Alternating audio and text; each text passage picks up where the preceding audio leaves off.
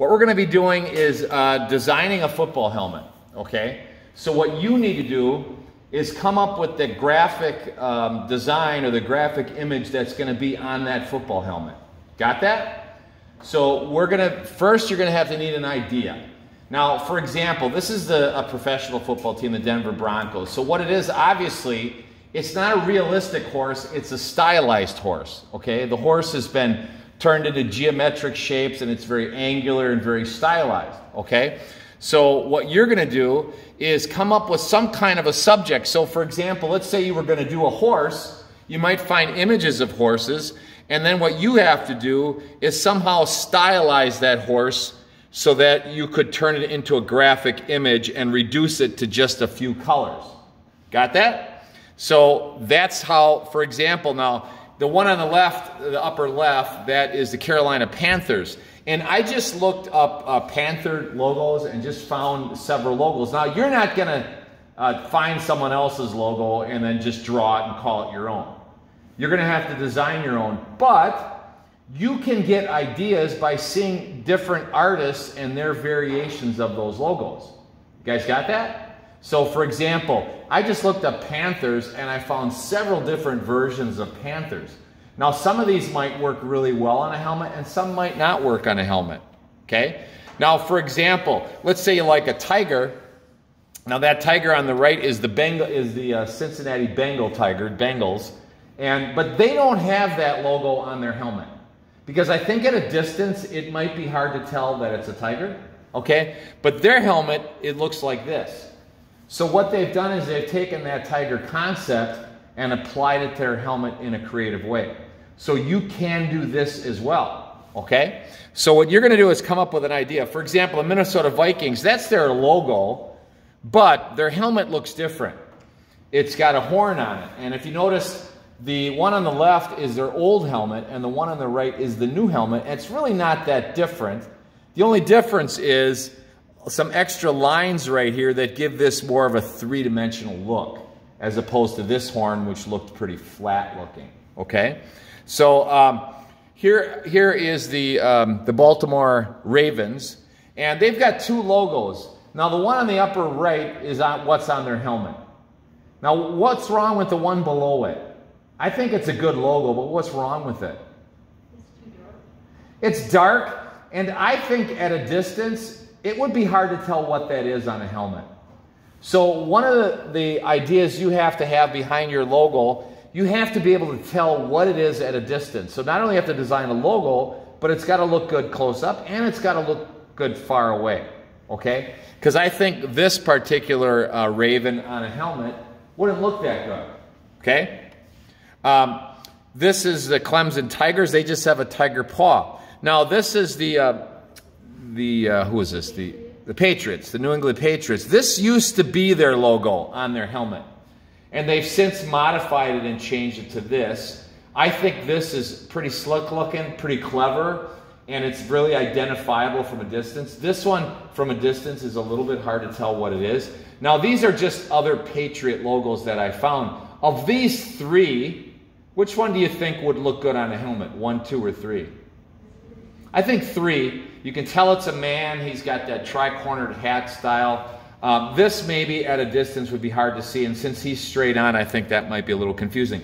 Even though I think these are awesome logos, these other ones, but just maybe not suitable for a helmet, okay? The Miami Dolphins, this was their old logo on the upper left, and their new logo is on the right, okay?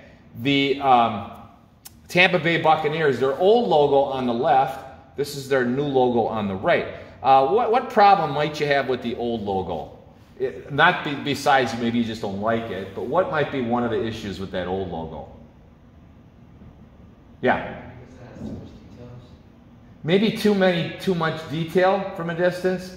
Um, I think the orange skin or the gold or I guess almost yellow skin on the orange next to the orange, those colors are too close to being the same color. And from a distance, I think it would be hard to tell what that is. So one of the ideas with your logo is you have to come up with an image that's high contrast. Um, these are the Milwaukee Admirals, and I just thought this was kind of interesting.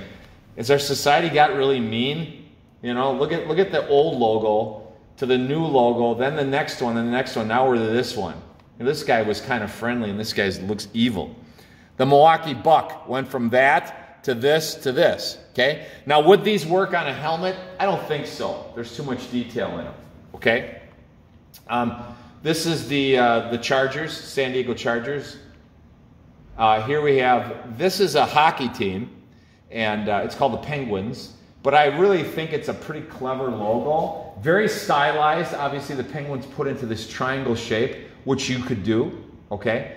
You can't, you're going to come up with a mythical team, okay? A mythical idea, and the team can have a city and a name, or it could just be the name.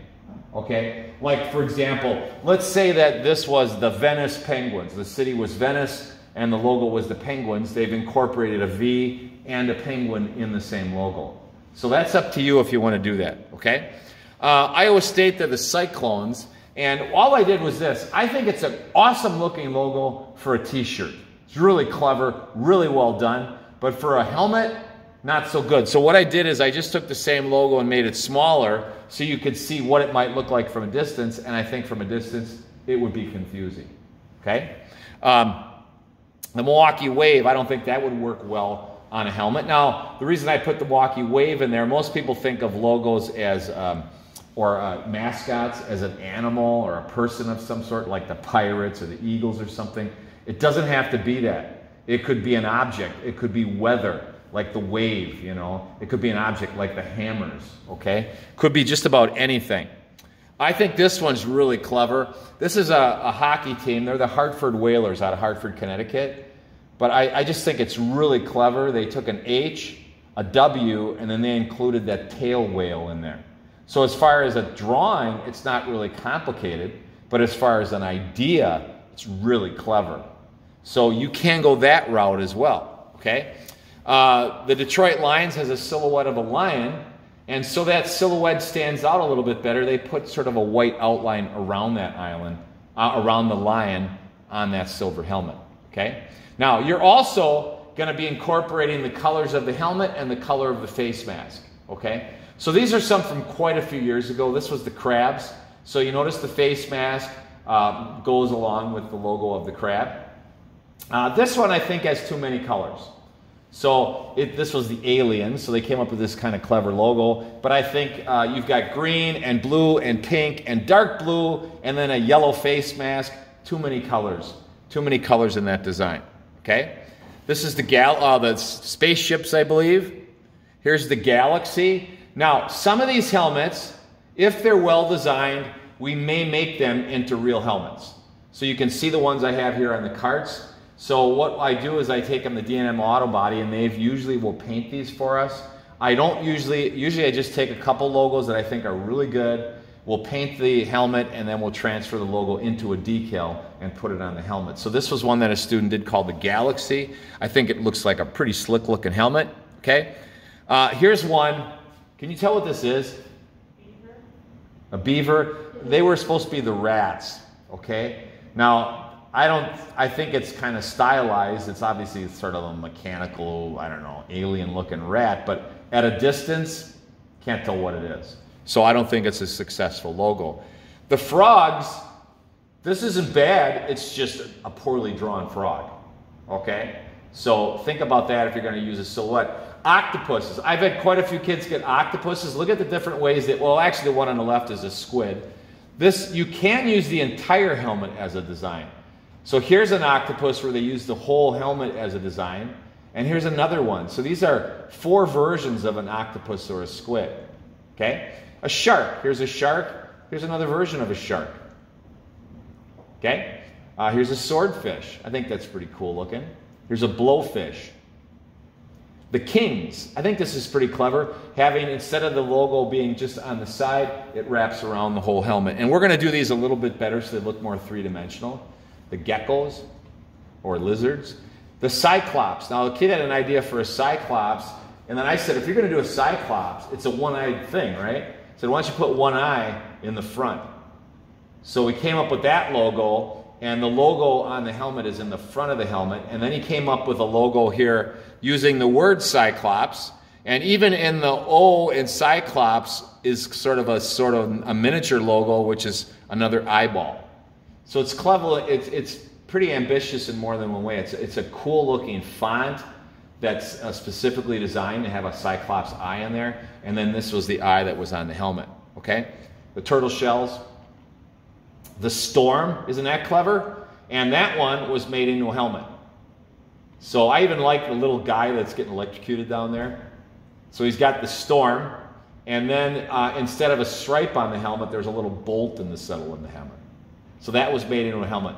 Um, these are some, you know, uh, either high, uh, um, professional or um, college teams. Uh, thinking outside the box, just because you've never seen a helmet that had two colors doesn't mean you can't make one. Okay, so you're thinking outside the box. And I just find helmets, and I found these helmets, I thought these were pretty clever. A helmet that looks like a watermelon, helmet looks like a brain. And I actually had a kid that made a helmet that looked like a brain, and he didn't see this. He came up with this idea on his own. So the whole helmet is a big brain. Here's a toucan. Um, here's one where they use the whole side of the helmet. Now, the uh, Philadelphia Eagles has a wing on their helmet, and using that same idea, these were some ones that students came up with. This is the dragons. This is the snails. Uh, this was the, this was wasn't finished off, but it was the monarch. So in the back of the helmet was a monarch's body, and then the wings are on the sides. This were the I think the raptors or something like that. Um, this is just two versions of a vampire that some different kids did. Giraffes. This was called the mercenaries. And uh, so he has this grenade with an M in it. And then he was going to have a camouflage head. Now, I, I thought that one was pretty cool. So I took it to get painted, but they said, ah, we can't do the camouflage thing. That's going to take too long. We don't want to spend that much time on the helmet. So instead, we went with kind of an army color. And then on the top of the helmet, instead of a stripe, we have like a tread from like a arm, like a trap, like a, a tank or something like that. Okay. So, and then he ended up doing the logo in a camouflage instead of just the logo in a green here. Okay? Uh, this is called the horrors. This is the cockroaches, so that the helmet's covered with cockroaches. These are the ones on the left, I believe, were the ninjas or something like that. So, or the rising sun, it was a Japanese design. And then that one we had painted into a helmet, which looks pretty cool. They also said they wouldn't do one like this again because it's too hard for them to paint. Uh, I can't remember what that one is. This was the Chiefs. Pretty cool. The bees, the painters, the North Stars, the koalas. No, not koalas. Mm-hmm. Panda. Okay. Devils. This one's cool in that we had a whale on the, you can't see, but from the front, the tail matched up with a logo that was the same. So it looks like a whale tail in front of the helmet. This was the zippers. The flaming donuts this kid thought he was funny. Anyhow, it was okay. I don't like. I think it's it's okay. The bats, that's pretty cool. And it said bats in front of the helmet. The phoenix, the bombs, uh, the griffins. Isn't that cool?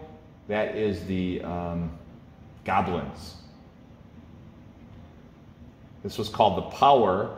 And what's neat in Illustrator you can quickly switch colors and try different color schemes. I think the one on the right looks better because of the high contrast colors they use as opposed to the one on the left where you've got like kind of a darker, I don't know, mauve color with red on it. Those two colors aren't that great.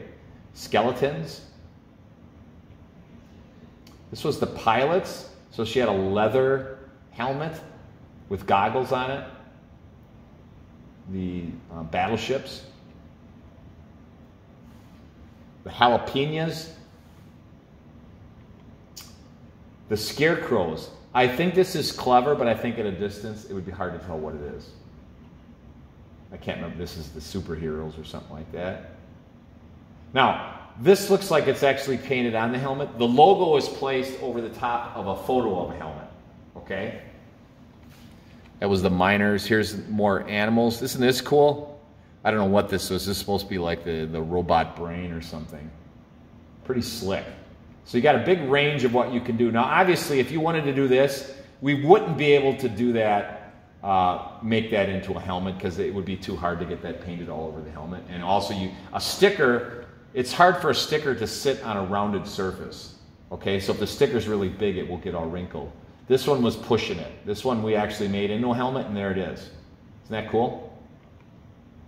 This one is a photo. This is her version of it, but here's the real helmet.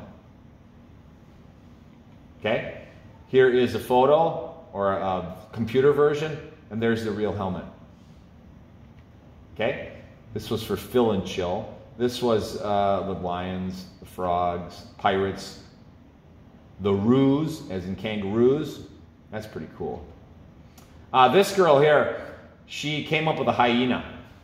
And then she just tried all different color versions of that hyena. And we end up doing the helmet, and she decided to do it in two colors orange and blue. And the helmet was cut down the middle or split down the middle in one color, and the other color was on the other side. So on one side, the helmet's orange with a blue hyena, the other side, it's blue with an orange hyena. And so was the face mask split into two colors. So I think that's pretty cool looking. Uh, this is some kind of dragons. We'll just whip through these. The Aztecs. I like this one. I think that's pretty cool. Her idea here was to have the Crusaders. So she has this um, knight's helmet in the shape of a C, and then she wanted to put a sword down the middle of the helmet, which I think would have been really cool. The lemurs. Oh, another octopus. Prisoners. The white wolves. She did this because her name was White Wolf. At least the White Wolf lions, red pandas, goldfish, the sea slugs. Uh, this one she wanted to. These are the Olympians, so she has this like wreath on the helmet. This one looks like the Aztecs as well. It's got this sort of Aztec design. I think that's, I don't know what that was. This was the Frankensteins. Okay? So get the idea. This one I think is a great looking drawing, but from a distance, I don't think you'd be able to tell what it was. Okay? Uh, she went beyond and said, I want to do one that actually has ears on it. The ninjas,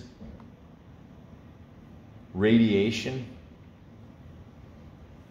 jokers, seahorses, ocelots. I think this is really clever, isn't it? The elves. It's got an E and a little ear like an elf and the geeks. Okay, I'm not sure what this was, the claws or something.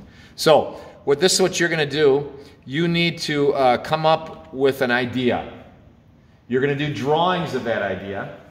Okay, sketches and drawings of the idea. Then we're going to take that idea onto the computer, and we're going to use Illustrator to make the edges really sharp, make the colors really brilliant, and we're actually going to on the computer then design what the total helmet's going to look like. Got that? So the first thing, and probably the hardest thing,